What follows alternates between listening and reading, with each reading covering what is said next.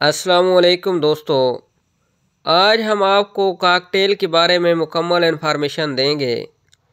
इनकी म्यूटेशंस, पिंजरा और ख़ुराक के हवाले से तफसील से बात करेंगे। इससे पहले अगर आप हमारे चैनल पर नए हैं तो हमारे चैनल को सब्सक्राइब करें, वीडियो को एक लाइक लाजमी करें और अपनी राय का इजहार कमेंट सेक्शन में दें। दोस्तों, काकटेल जो है, ये ऑस्ट्रेलिया और इंडोनेशिया में पाए जाने वाले तोतों के गिरोह का सबसे छोटा मेंबर है। ये ऑस्ट्रेलिया के कम बारिश वाले कम झाड़ीदार, खुश्क इलाकों में पानी के इर्द गिर्द पाए जाते हैं।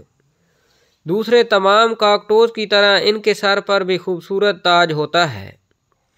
इनके परों की रंगत ग्रे होती है, लेकिन विंग्स के बैरूनी पर सफ़ेद रंग के होते हैं। इनकी लंबाई 12 से 14 इंच और औसतन वज़न 125 ग्राम होता है। नर का चेहरा और सर का ताज सफ़ेद या जर्दी माइल होता है, जबकि मादा का चेहरा और सर का ताज ग्रे होता है। नर और मादा दोनों के गालों पर जर्द रंग के धब्बे होते हैं। नर में ये ज़्यादा चमकदार होते हैं। मादा के दूम के जेरी परों पर येलो रंग की उफकी धारें होती हैं। और उड़ान वाले परों की निचली तरफ़ येलो रंग के धब्बे होते हैं। नर की दुम या उड़ान वाले परों में इस तरह की धारें या धब्बे नहीं होते। अपने कुदरती माहौल में ये जोड़ों की सूरत में या छोटे छोटे ग्रुप बनाकर रहते हैं। अपने छोटे साइज़ और खूबसूरत जिस्मानी खदोखाल की वजह से ये दुनिया भर के पैरेट लवर्स में बहुत मकबूल हैं। बजरी कार के बाद दुनिया भर में घरों में सबसे ज़्यादा रखा जाने वाला तोता है। अगर इनके म्यूटेशन के हवाले से बात की जाए तो इनकी बारह म्यूटेशन पाई जाती हैं, जिनमें albino white faced cinnamons, lutinos brown fallows, pearl, pieds, dilute, H dilute, faded, Asian fallows और करीमूज शामिल हैं। अगर आप इनको बतौर पालतू परिंदा रखते हैं तो पिंजरे की कम से कम पैमाइश डेढ़ बाय ढाई फुट और ऊंचाई तीन फुट होनी चाहिए। इन्हें बड़े साइज़ के पिंजरों में रखना ज़्यादा बेहतर है, जिनकी पैमाइश चार बाय चार फुट और ऊंचाई छः फुट होनी चाहिए।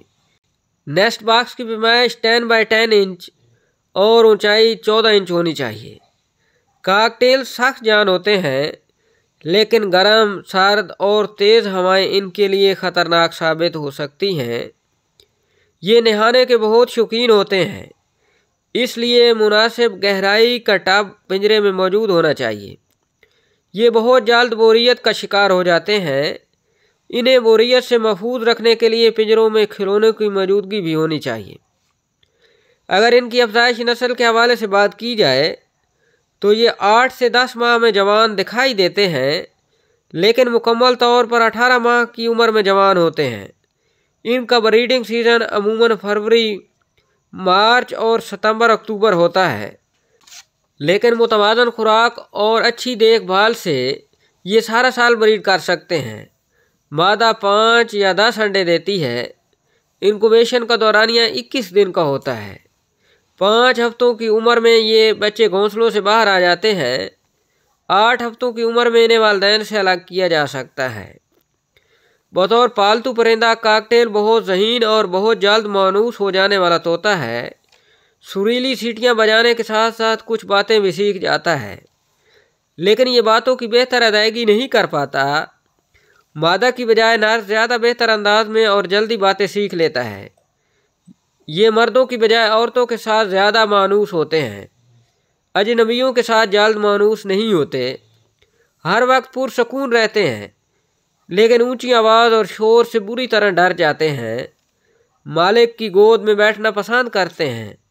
मुनासिब तवज्जो ना देने की सूरत में बहुत जल्द बोरियत का शिकार होकर डिप्रेशन की वजह से पिंजरे के साथ अपना सर टकराते हैं और खाना पीना छोड़ देते हैं। अक्सर अवकात मौत के मुँह में फिर चले जाते हैं। अगर इनकी खुराक के हवाले से बात की जाए तो ये मुख्तलिफ़ अजनास के बीज, फल, सब्ज़ियाँ उबला हुआ अंडा, मकई की छली, इनकी खुराक का हिस्सा होते हैं। बीमारियों के ख़िलाफ़ इनकी क़वत मदाफ़त बहुत ज़्यादा होती है।